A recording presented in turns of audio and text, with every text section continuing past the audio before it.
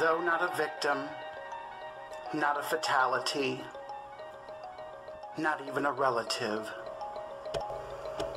feelings of the most incomprehensible loss overcome. It is as though our collective breath took pause. For a moment, it seemed like we were outdone. Since then, emotional distress takes me over the edge of nevermore, consuming any kind of thought. Imagining what so many went through in just a moment, fear, cloaked in tears, get me right about my throat caught. My heart races in a panic as if trying to escape from what?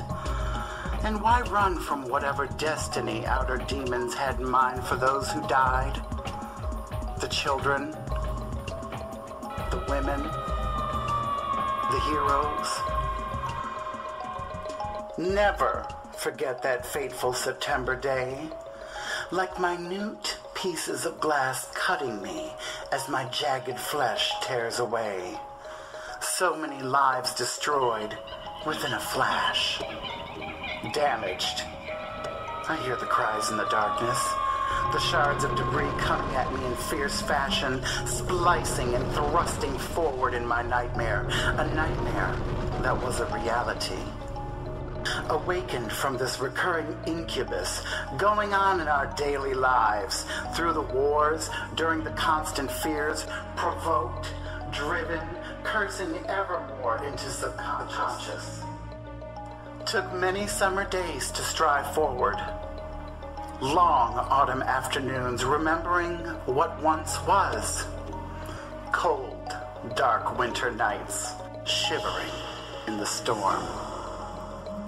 And after the storm, springs hope anew. Breathing in a sense of survival a willingness to carry on, a belief in all that is right and true, a promise that again today can lead to tomorrow. We have to continue to come together, to commemorate, celebrate the lives of our lost brothers and sisters, and come through and look into each other's eyes, each other's faces, and see you and me.